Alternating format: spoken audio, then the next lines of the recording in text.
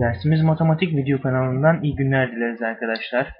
Bugünkü dersimizde 8. sınıfların merkezi ortak sınavının mazeret sınavını çözmeye çalışacağız arkadaşlar sizlerle birlikte. Evet, dilerseniz birinci sorumuzla başlayalım arkadaşlar.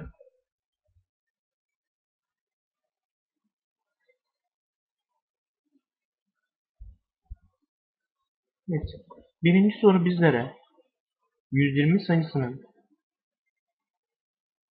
farklı asal çarpanlarının toplamı kaçtır diye sormuş. Evet arkadaşlar 120 sayısını asal çarpanlarına ayıralım. 120'yi farklı şekillerde asal çarpanlarına ayırabiliriz. Biz bu sefer şu yöntemi kullanalım. 12 çarpı 10. 12'yi ayırırsak 4 çarpı 3'tür. 10'u ayırırsak 5 çarpı 2'dir. Yine 4'ü ayırırsak 2 çarpı 2 çarpı 3 çarpı 5 çarpı 2. Farklı asal çarpanları 2, 3 ve 5'tir. Öyleyse 3 tane var. Toplamını istemişti bizden. 2 artı 3 artı 5'i toplarsak 10 edecektir arkadaşlar. Evet. ikinci soruya geçelim. 12 ve 18 sayılarının bölündüğünde 5 kalanını verilen 3 basamaklı en küçük doğal sayı kaçtır? 12 ve 18 sayılarına bölünecek. Aynı zamanda 5 kalanını verecek. Yani 12 ve 18'in ortak katının 5 fazlası olmasını istiyor arkadaşlar. Öyleyse 12 ve 18'in ortak katını asal çarpanlar algoritmasından faydalanarak bulalım. Her ikisi de 2'ye bölünür. 6, 9, 2'ye bölünür. 3, 9, 3'e bölünür. 1, 3, 3'e bölünür. 1. Ek okunu bulmak için çarpıyorduk. 9, 18, 36. Evet. 36'nın 3 basamaklı olmasını istiyorsak eğer, bu ortak katın 3 basamaklı olmasını istiyorsak, önce 2 ile çarpalım 5 ekleyelim. 72 olur. 5 eklersek 77 olur.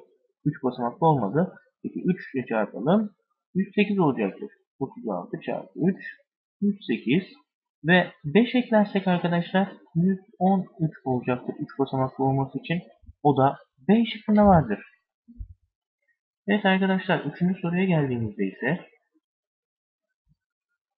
şekildeki A, B ve C harflerinin her biri harfin bağlı olduğu iki sayının ortak bölenlerinin en büyüğüne eşittir denilmiş.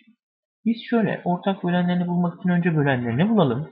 Burada 72'yi öncelikle 36 çarpı 2 olarak ayırdım. Ardından 6 çarpı 6 çarpı 2 olarak ve 6'yı da 3 çarpı 2, 3 çarpı 2 çarpı 2 olarak ayırdım.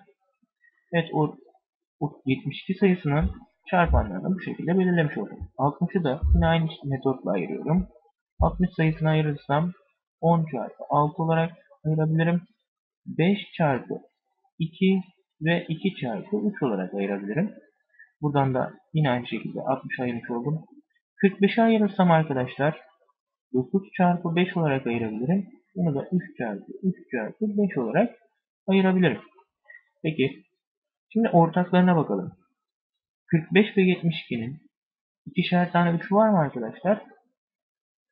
Var. O zaman 3 üzeri 2 5 var mı ikisinde yok. Öyleyse 9'dur ay. Ve C'yi inceleyelim yine. İkiler 2 tane var mı? Var. 3 var mı? Bir tane var. 5 var mı yukarıda? Yok. Öyleyse 3 çarpı 2 6. 6 çarpı 2 12'dir. Ortak çarpı. Böleni. Evet arkadaşlar yine B sayımıza bakalım. B sayımız için her ikisinde de birer tane 3 var. 3'ü alıyorum. Birer tane 5 var. Ortak olarak aldığımda toplam 15 oldu. Öyleyse B sayımız da 15'tir. Ve buradan 9, 12, 15'i toplamam gerekiyor. 9, 12 ve 15'i topluyorum. 9, 12 daha 19. 21, 15 daha 36 olacaktır arkadaşlar. Evet. 36'yı işaretledik. Dördüncü soruya geldiğimizde ise x ve y pozitif tam sayılar olmak üzere a eşittir 2 üzeri x çarpı 5 üzeri y denilmiş. Buna göre a sayısı aşağıdakilerden hangisi olamaz denilmiş. Evet arkadaşlar yani çarpanları 2 ve 5 olmayan sayıyı istiyoruz. Burada 2, 2, 5'tir. Burası ise yine 2, 2, 2, 5'tir. 8 çarpı 5 çünkü. 4 çarpı 5'tir. Ve 25 için 5 çarpı 5, 25 çarpı 2 yine 50'dir. 60 için ise 2'ye bölersek 30, 2'ye bölersek 15, 3'e bölersek 5, 5'e bölersek 1 olacaktır. Ve arada 3 vardı. O yüzden D şıkkı olmayacak. Ekstra 3 kabulümüz değil. Beşinci soru 3 3A iki basamaklı bir sayıdır. 3A ve 6 sayılar aralarında asal sayılar olduğuna göre A'nın alabileceği değerlerin toplamı kaçtır? Evet arkadaşlar 3A sayısı iki basamaklıysa yani 30 olabilir. 31 olabilir. Bu şekilde giden 32, 33, 34 gibi sayılar olabilir. Bunlardan 6 ile ortak bölünmesi demek 2 veya 3'e bölünmesi demek. Biz bunu istemiyoruz. 2'ye ve 3'e bölünenleri istemiyoruz. Yani 30'u istemiyoruz, 32 istemiyoruz, 33'ü istemiyoruz mesela. Evet çiftleri istemiyoruz zaten. Şöyle tekleri yazayım sadece. 33, 35, 37, 39. Peki 3'e bölünenler hangileri? 33 3'e bölünür. 39 da 3'e bölünür. Öyleyse geriye A sayısının yerine yazılabilecek 1, 5 ve 7 kaldı. Bunları topladığımızda da 13 edecektir. O da C şıkkında mevcuttur. Evet arkadaşlar 6. soruya geldik. Şekildeki tişörtün fiyat etiketinden iki tane rakam silinmiş. Tişört fiyatının çözümlenmiş biçimi 5 çarpı 10 üzeri 1. Evet şurası 0'dı. Burası 1'di. Bizim anlattığımız konuları dinlemişsek eksi 1 ve eksi 2 Evet 7 çarpı 10 üzeri eksi 1. Evet bunlar verilmiş. 8 çarpı 10 üzeri eksi 1. Burası verilmemiş. Buradaki var. Ve şurası demek ki sıfırmış. Atlanmış. Evet arkadaşlar. Boşluktakiler 0 ve 8'miş. 7. soruya geldik arkadaşlar. Yüzler basamağı 2 olan 3 basamaklı kaç tane tam kare sayı vardır? Yüzler basamağının 2 olmasını istiyoruz ve diğer sayıları düşünüyoruz. Evet bildiğimiz kadarıyla 14'ün karesi 196 idi. Demek ki 2 değil. 15'in karesi 225'ti. Evet. 16'nın karesi 256 idi. 17'nin karesi 289'du. 18'in karesi 324'tü. Evet bu da olmadı. Evet, bunlar olmadığına göre cevabımız 3 tane tam kare sayı vardır. 8. sorumuza geldik arkadaşlar. 10 üzeri 4 çarpı 10 üzeri eksi 5 bölü 10 üzeri 5 çarpı 10 üzeri eksi 4 olarak algılarsak bu işlemi sonucunu belki rahatlıkla bulabiliriz. 10 üzeri 4 ve 10 üzeri 5'i üstleri toplanacaktır. Toplarsak eğer işte çarpma işlemi olarak algılarsak eksi 5 ve artı 4'ü topluyorum. 10 üzeri eksi 1 olacak. Alt tarafı da aynı şekilde algılarsam 10 üzeri 1 olacaktır. Peki bu sistemde arkadaşlar 10 üzeri eksi 1 aşağıya alırsam burada 1 bırakırım. 10 üzeri 1 vardı zaten. Bu aşağıya alındığında çarpı 10 üzeri 1 olarak gelecek. Ve 1 bölü 10 çarpı 10 olacaktır.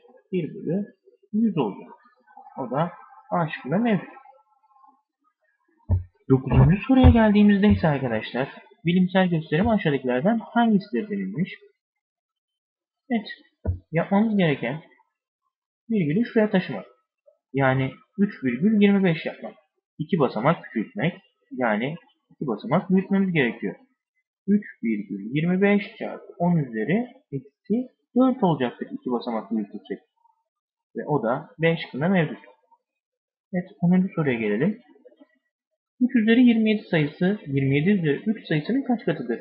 Öyleyse 3 üzeri 27'yi 3 üzeri, e, 27 üzeri 3'e bölelim. 3 üzeri 27 sabit kalsın.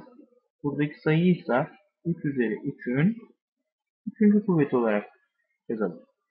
3 üzeri 27 yine sabit kalsın. Üstler üst üste geldiğinde çarpılıyordu. 3 üzeri 9 olmuş. ve bölme işleminde çıkartılıyordu. 3 üzeri 27 eksi 9. Bu da 3 üzeri 18 olur. Ve C şıkkında mevcut. Evet arkadaşlar. 11. soru. Bir eşit kollu terazinin sol kefesinde 273 gramlık bir kütle, sağ kefesinde 17 gramlık bir kütle bulunmaktadır. Buna göre bu terazinin denge durumuna gelebilmesi için sağ kefesine kaç gramlık bir kütle konulmalıdır demektedir. Arasındaki farkı bulun öncelikle. 273 gram eksi 17 gram. 3'ten 7 çıkarsa yani 13'ten 7 çıkarsa 6 6'dan 1 çıkarsa 5 ve 2. 256 gram daha eklenmeli. Peki arkadaşlar 256 4'ün kaçıncı kuvvetine eşittir? 16 çarpı 16 yani 4 çarpı 4 çarpı 4 yani 4'ün 4. kuvveti diyebiliriz. 256 için. Öyleyse A işaretleyelim. 12. soruya geldik. Aşağıdakilerden hangisi ondalık gösterimi 0'dan 10.000'de 83 sayısına eşit değildir denilmiş. Peki biz bu sayıyı şöyle yazabilir miyiz? 83 çarpı ben bu sayıyı şimdi düzenliyorum. Virgülü şuraya alacağım. O zaman 4 basamak küçültüğüme göre 10 üzeri eksi 4 olacaktır. Ben bu sayının benzerlerini arayacağım. Zaten burada gördüğümüz üzere bu var. Peki eşittir. Şimdi şurayı düşünelim. 83'ü virgülü buraya alacağım. Dolayısıyla 3 basamak küçültüyorum bu sayıyı. 83 çarpı 10 üzeri 3 basamak büyütmem lazım. Eksi 7 olduğuna göre 3 basamak büyütürsem eksi 4'e çıkar. Evet bu da doğrudur. Peki 83 burada da 83'e yükselttiğime göre bunu küçültmem gerekiyor. 10 üzeri eksi 4 olacaktır. Bu da doğrudur. Burası için ise 83'e getirdiğimde 10 üzeri eksi 1'de 2 basamak daha büyüttüğüm için burasını 2 basamak daha küçültmem lazım. Öyleyse eksi 3 olacaktır. Ve burası yanlıştır. Denizli şıkkını işaretliyorum arkadaşlar. 13. soruya geldik. Aşağıdakilerden hangisi sayı doğrusunda 8 ile 9 arasında ve 9'a daha yakındır denilmiş. Öyleyse bir sayı doğrusu çizelim arkadaşlar. 8 ve 9 yazalım. Yani kök 64 ve kök 81 yazalım. 65 buradadır. Evet 72 buradadır. 80 buradadır. Ve 83 buradadır. Evet en yakın şunlar var. Hangisi daha yakın? 81 ile 80'in arasında bir fark var. 81 ile 82'nin arasında iki fark var. Evet, o yüzden bir fark tercih ederiz ve C şıkkı daha yakındır deriz. 14. soruya geldiğimizde ise arkadaşlar yukarıdaki boyalı şeklin çevresi kaç metredir denilmiş. Gördüğümüz üzere metreler verilmiş. 2 üzeri eksi 3, 1, 2, 3, 4, 5, 6, 7, 8, 9, 10, 11, 12, 13, 14, 15, 16 tane 2 üzeri 3, eksi 3 var. 16 tane 2 üzeri eksi 3 var. Peki 2 üzeri 4 olarak yazabilir miyim? Tabii ki 2 üzeri eksi 3. İkisini çarparsam toplamam gerekiyordu. Toplarsam da 2 üzeri 1 olacak. Bu da 2 eşittir ve D şıkkında mevcut. Evet arkadaşlar 15. soruya geldim. Şeklin ABCD karesinin alanı büyük karenin alanı 225 cm kare ve boyalı bölgenin alanı 81 cm kareymiş. Evet. EFGH karesinin bir kenar uzunluğu kaç santimetredir denilmiş. Yani biz aslında 225'ten şurasını çıkartmışız. 81 bulmuş.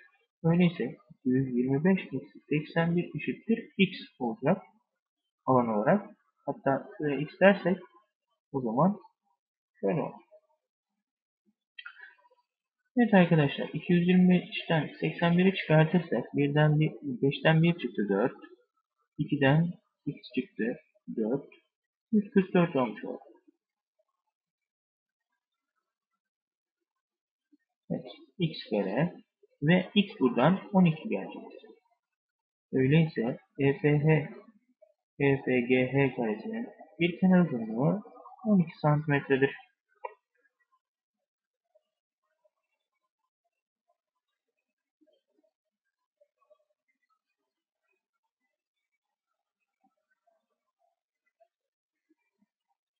16. soruya geldik arkadaşlar. 2 tam belirli olarak onda 6 belirli ondalık gösterimine karşılık gelen rasyonel sayı aşağıdakilerden hangisidir diye bize sorulmuş. Evet arkadaşlar 2 tam devir, e, bu sayıyı şu şekilde yazabiliriz. 2 tam 9'da 6 olarak yazabiliriz biliyoruz ki. Evet 9 kere 2 18 6 eklersem 24 bölü 9. Evet görüyorum ki şıklarda yok. En yakın bu var. Hemen atlamayalım arkadaşlar. 3'e sadeleşebilir her ikisi de. 3'e böldüm 8, 3'e böldüm 3. Ve A şıkkında mevcut. 16. soruyu da bu şekilde çözmüş olduk. 17. soru. Buna göre kök 300 sayısı A, B ve C cinsinden ifadesi aşağıdakilerden hangisidir denilmiş? A, B ve C'leri yukarıda belirtmiş arkadaşlar. Biz kök 300'ü bir açalım isterseniz. Köklü sayılar olarak 300'ü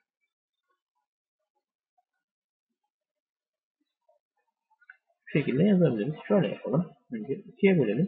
150 olsun. 2'ye bölelim 75 olsun. 3'e bölelim 25 olsun. 5'e bölelim 5 olsun. 5'e bölelim 1 olsun. Evet arkadaşlar.